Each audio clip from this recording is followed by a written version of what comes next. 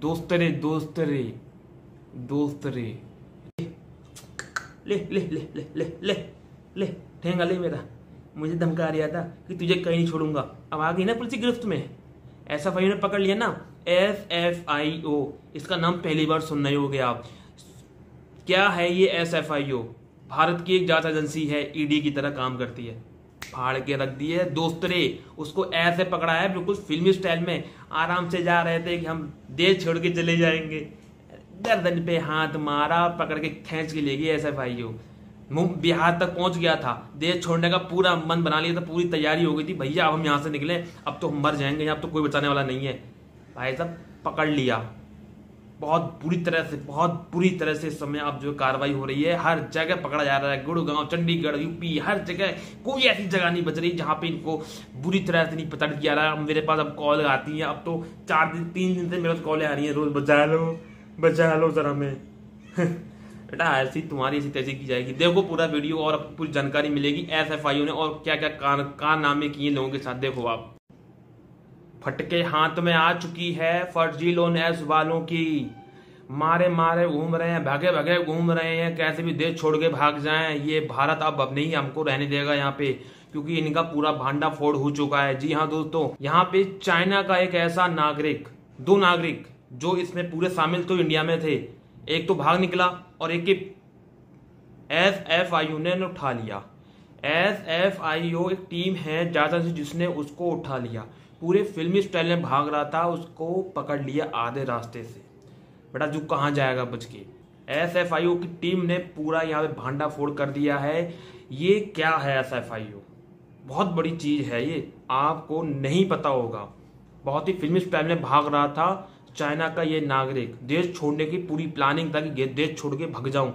लेकिन इस समय पुलिस और जाँच एजेंसी जितनी भी हैं, सब भारत सरकार ने लगा दी हैं और इनको खदेड़ना है, उखाड़ना है और उखड़ चुकी हैं। प्ले स्टोर पे आप जाना, जितनी भी ऐप हैं, जो तंग कर रही थी पूरी साफ़ हो चुकी हैं, लगभग साफ़ हो चुकी हैं, अब धीरे धीरे हो रही हैं दोस्तों।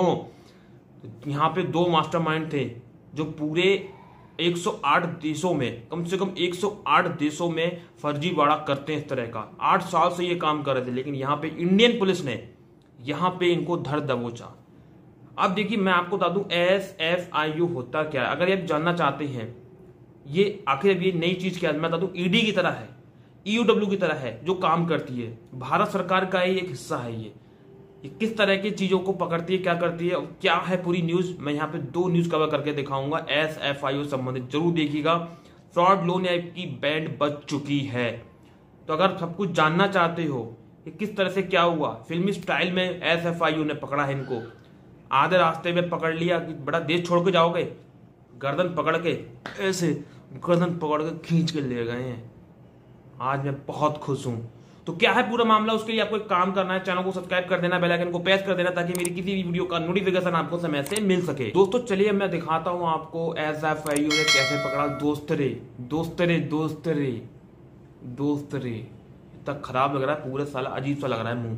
दोस्त रे, जिसका नाम है जो चीनी को पकड़ा है, और किस धारा में कार्रवाई हुई, वो भी मैं आपको बताऊँगा। इसकी बहुत लंबी एक कहानी है, मैं आपको पूरा बताऊँगा। न्यूज़ कल के अखबार में आई हुई है फ्रंट पेज पे। ये देखिए, ये है, आप यहाँ पे देख लीजिएगा, ये आज की इसमें तारीख पड़ी हुई है, और ये ये न्यूज़ है। मैं यही न्यूज़ जो है फ़ोन में फ़ोटो क्लिक करके आपको सही से समझाऊँगा, ताकि आपको जो अक्षर है, वो भी साफ़ साफ़ दिख जाए। कल की न्यूज़ आई हुई है एस एफ़ ने पकड़ा है उस दोस्तरे को, ठीक है? तो ये अखबार को आप अमर उजाला का अखबार है। कल के अमर उजाला के पहले दूसरे पन्ने पे आप इसको देख सकते हैं। यूपी में देख लेंगे तो मिल जाएगा। हमारा तो यूपी में तो आ रखा है, आपके यहाँ है या नहीं है मुझे नहीं पता।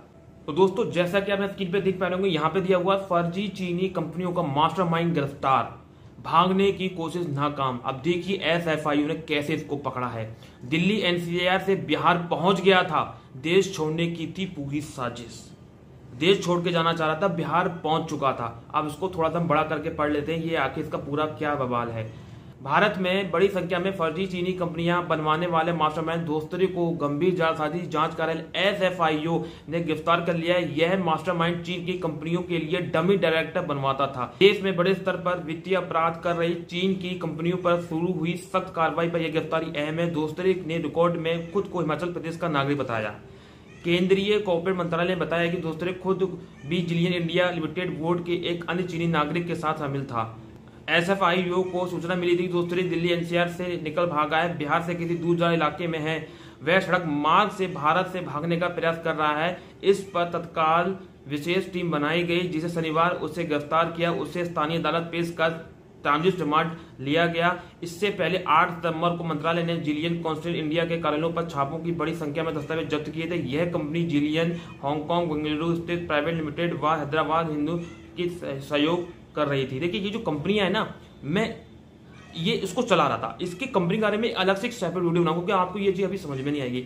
ये जो बंदा था, ये फर्जी कंपनियों को बनवाया करता था मतलब उनको मतलब एक डमी डमी जैसे नहीं, आपने डमी किसे बोलते हैं? जैसे कि नकली नकली कंपनी तैयार करता था पूरी ये।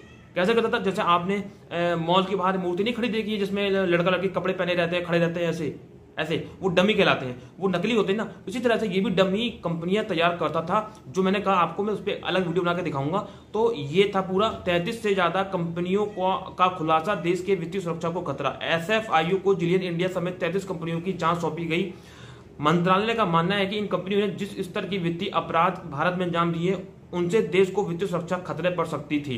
डम्मी निदेशों को मिलता था पैसा। आरओसी दिल्ली की जाँच और छापे में बरामद दस्तावेज़ में सामने आया कि डमी डायरेक्टर के रूप में कई भारतीय यूँ ही सदम चीनी कंपनियों से नहीं जुड़े, उन्हें अपना नाम उपयोग करने के लिए बदले पैसा मिलता था। यह पैसा जिलियन इंडियन देती थी। इन डमी डायरेक्टरों को डिजिटल सिग्नेचर कंपनी की मोहरी भी छापे मिली है। जिलियन कंस्टेंट की शुरुआत 2014 की संघाई में हुई। सिर्फ़ आठ साल में यह कंपनी दुनिया के 105 देश में फर्जीवाड़े का कारोबार करने लगी है। चीन मैथिंग ऐप का उपयोग पूरे रैकेट का कितना फ़ायदा और सोचे समझे विशाल तंत्र के रूप में काम कर रहा है। इसे ऐसे समझे कि भारत में बनी चीनी कंपनियों ने भारतीय कर्मचारियों और चीन में इनका नियंत्रण कर रही थी।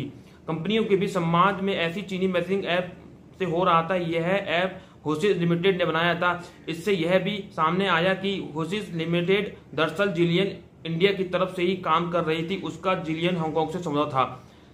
मैंने, आपको तो समझ में नहीं आया होगा, मैं आपको बताऊँ, ये तैंतीस से ज़्यादा कंपनियों को फर्जी चला रहे थे जबकि यहाँ पे मेरे पास जो है एक हज़ार से ज़्यादा कंपनी चलाने का रिकॉर्ड आया यदि कहाँ बैकग्राउंड में चला रहे थे सब कुछ दिखाऊँगा सब कुछ प्रूफ दिखाऊँगा अगले वीडियो में आज के नहीं अब ये यहाँ पे आप समझो मैसेज का क्या था एक ऐसी एप्लीकेशन तैयार की थी इन्होंने ढाई हज़ार नंबर हांगकॉन्ग में इंडिया के चल रहे अभी भी एक्टिव और कुछ नंबर ऐसे थे जो कि जैसे कि आ, हम कोई काम करते हैं तो हमारे फ़ोन पे ओटीपी आता है और ओटीपी डाल के उस चीज़ को वेरीफाई करते हैं तो वो ओटीपी इंडिया के फ़ोन में नहीं आते थे। उन्होंने क्या किया? एक ऐसी ऐप को इंस्टॉल करवा दी, यहाँ पे जो नाम भी दिया है होसिस लिमिटेड मैंने क्या कुछ करके ऐप का नाम कुछ है।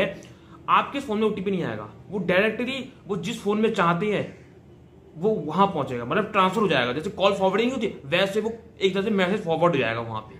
तो ओटीपी जब उनके पास सारे आ रहे हैं तो सारे काम उनके हाथ में सब कुछ कर सकते हैं। तो ये चल रहा था पूरा प्लानिंग ये बहुत बड़ा उनका चल रही थी दिमाग में खुरापात। जो कि एस ने पूरा खुलासा कर दिया है। एस एफ़ आई क्या होता है? अब ये भी समझ लो। एस होता है सीरियस फ्रॉड इन्वेस्टिगेशन ऑफ़िस गंभीर धोखाधड़ी जाँच कार्यालय।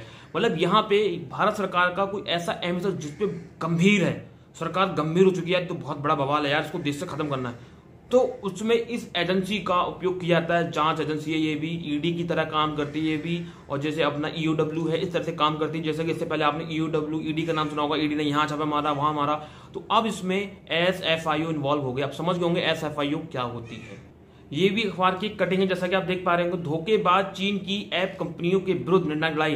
एस एफ़ आई ओ भी सक्रिय है। उसी से रिलेटेड है, लेकिन तो कुछ नई जानकारियाँ पढ़ लेते हैं। ईडी पहले कर रही थी कार्रवाई, राज्यों में पिछले एक हफ़्ते से चल रहा अभियान। अब देखिए यहाँ पढ़ लेते हैं। चीन की मोबाइल ऐप कंपनी द्वारा आम भारतीयों के साथ पहले वित्तीय धोखाधड़ी करने बाद में उन्हें मानसिक व शारीरिक तौर पर प्रताड़ित करने के खिलाफ राष्ट्रव्यापी अभियान की शुरुआत हो गई है। पिछले एक हफ़्ते में हरियाणा, दिल्ली, आंध्र प्रदेश, बिहार समेत देश के कई राज्यों में इन कंपनियों ने चीनी अधिकारियों और उनके भारतीय कर्मचारियों के खिलाफ व्यापक अभियान चलाया जा रहा है। इस काम में वित्त मंत्रालय और आरबीआई के बीच लगातार विमर्श हो रहा है। किस तरह स्थानीय जाँच एजेंसियों के साथ मिलकर धोखेबाज चीनी कंपनियों को शिकंजे में लिया जाए ईडी के, यानी प्रवर्तन निदेशालय के बाद अब मामलों में मंत्रालय की जाँच एजेंसी एसएफआई संगठन भी इन कंपनियों के प्रबंधन के विरुद्ध जाँच में जुट गया है। ठीक है डोरेट्स को भारत में नाम बदलकर काम करने वाली चीनी मुखौटा सेल कंपनियों का मास्टरमाइंड माना जा रहा है डोरेट्स उसका ना एक सिर्फ़ स्थान पर नेटवर्क, बल्कि कई चीनी सेल कंपनियों के निर्देशक की आपूर्ति भी करता था, उन्हें भुगतान की व्यवस्था करता था और उन्हें भारतीय कानून आँख में धूल झोंकने की ट्रेनिंग देता था। उनके पास कई ऐसे नकली दस्तावेज़ भी मिले हैं। पिछले दो वर्ष से लगातार शिकायतें मिल रही है, लेकिन स्पष्ट नियमन न होने की वजह से खिलाफ कार्रवाई होने में अभी तक ढिलाई हो रही है। हाल ही में आरबीआई ने सख्ती करनी शुरू की है और डिजिटल ऐप के ज़रिए लेन देन सिर्फ़ पंजीकृत एजेंसियों को ही करने की अनुमति होगी, लेकिन अभी भी आरबीआई इनके पास मोबाइल ऐप कंपनियों के खिलाफ कार्रवाई करने का अधिकार नहीं है। यहाँ पे जो दोस्तरे है डोरे दोस्तरी है, यहाँ पे डोरे लिखा है, दोस्तरी।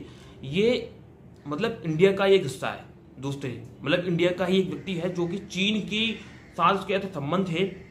ये इंडिया में बैठे चीज़ों को वहाँ पे उजागर करता था दोस्तरी कि यहाँ पे ये कानून है, ऐसे काम करना है, ये काम करना है और ये चीज़ है। अच्छा मैं, मुझे अगर तुम, तुम्हारे घर की जानकारी नहीं है, क्या मैं तुम्हारे घर में कुछ कर पाऊँगा? तुम्हारे घर में क्या चीज़ कहाँ रखी है? तुम्हारे पापा क्या करते हैं? तुम्हारे पापा का सोचने का तरीका क्या है? कब क्या कैसे होता है? जब तुम्हारे घर का ही कोई आदमी भेद करेगा, यानी कोई मुझे जानकारी देगा, तभी तो उस हिसाब से मैं काम कर पाऊँगा। मतलब अपनी पूरी घर की पोल खोल के मुझे देगा, तभी तो मैं कुछ कर पाऊँगा। ऐसे ही ये बंदा, दोस्तों इंडिया की पूरी पोल खोल रहा था। और जो कि चीनी नागरिक बन चुका है पूरी पूरी तरह से। ठीक है ना? तो दूसरा एक जो असली मास्टर माइंड है वोंग जोंग करके उसका कोई नाम है, वो भी अरेस्ट हो चुका है। अब वो अगली न्यूज़ आपको मिलेगी, उसमें आपको पूरी डिटेल में बताऊँगा कि आखिर हुआ क्या। और एक लड़की जिसने अपने आप को इनके चक्कर में खत्म कर लिया है। तो ये है पूरी यहाँ पे दोस्तरी। इस दोस्तरी की क्या कहानी है? इसने कई सारी फर्जी कंपनियों को तैयार किया। डमी, यानी फर्जी कंपनियों को तैयार करना सा काम था और बेवकूफ़ बनाना था कि ये जो लोन ऐप है फर्जी वाले, ये इस कंपनी से रजिस्टर्ड है। जैसा कि मैंने कई सारे वीडियो ऑलरेडी बनाए हुए हैं। आज वही चीज़ सामने निकल के आ गई है। तो ये है पूरी कहानी दोस्तरी की। दोस्तरी की कहानी को लेके आज मैं या कल मैं आपको पूरा स्पेशली वीडियो बना के दूँगा। दोस्तरी कहानी है क्या? ये बहुत लंबा है। बैंगलोर में इसने कई एक हज़ार कंपनियों को तैयार कर दिया था, जिसमें केवल तैतीस चालीस पकड़ में आई हैं। और एक हज़ार से ज़्यादा रजिस्ट्रेशन हो चुके हैं कंपनियों के। इस तरह के मामले सामने आए हैं। तो इस तरह की न्यूज़ जानने के लिए आपको विनय एल चैनल को सब्सक्राइब करना होगा। अब इसी तरह की आपको न्यूज़ मिलती रहेगी। फाड़ के रख दी है फॉर्जून ओनैप की।